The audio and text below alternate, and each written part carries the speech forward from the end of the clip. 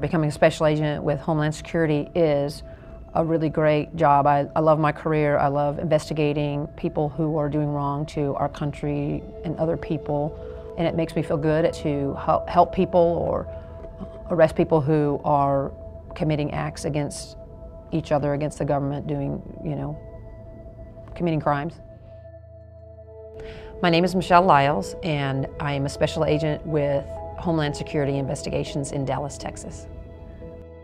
I'm a special agent, so I conduct criminal investigations, and I'm also a member of the Special Response Team. And we do tactical uh, warrants and arrests.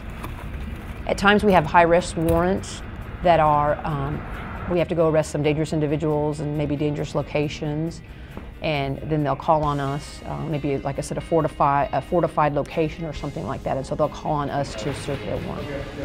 I believe there are 16 teams currently in HSI, and we have a minimum of 12 per team.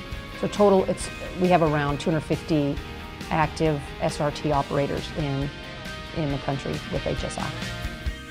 I just turned 50, and I started. Uh, I went through SRT school when I was 44. So I am one of the older members already. And it is harder for me for lots of reasons, but I think being female, of course, is also another reason. Therefore, I do lots of running and go to the gym and really need to keep up my physical fitness as much as possible so that I can stay fit to be on the team and to do my job. Being an SRT member is an extra responsibility that isn't always easy. Um, sometimes you're working your own casework and then you'll get called off because we need to go do a hit in two days and maybe you had plans or appointments that you had to go on your own cases, but we kind of have to shift gears quite a bit to do that.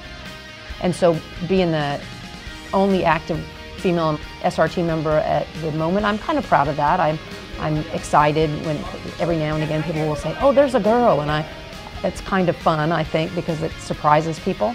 Currently, we're training every two weeks or twice a month. Uh, occasionally, we'll train a little bit more if maybe we have a hit and we're getting ready for it the day before, something like that.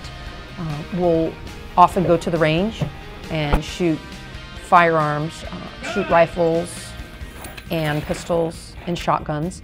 And we'll do different drills, timing drills, or drills where we'll transition from our rifles to our pistols so that we get good muscle memory for what we should be doing in case of the, you know, that we do get in a firefight. I think at first I, I was a regular agent just kind of watching some of the tactical agents doing this job and I was feeling myself a little bit jealous, like I really wanted to do that. I think that's when I knew I wanted to do it because I watched other people doing it and thought, why am I standing here on perimeter? I really want to be at that door helping to break the door down and go into the house and clear it. That's when I decided I wanted to be part of the team. Good! It's very gratifying being part of the Special Response Team, SRT, as an agent when we go in and get the bad guy or the guy we have the warrant for clear the house to make the search. When we come out and everyone is safe, the best thing is we get a warrant, we go get the guy, everyone is safe, we all walk away. That, that's a good day.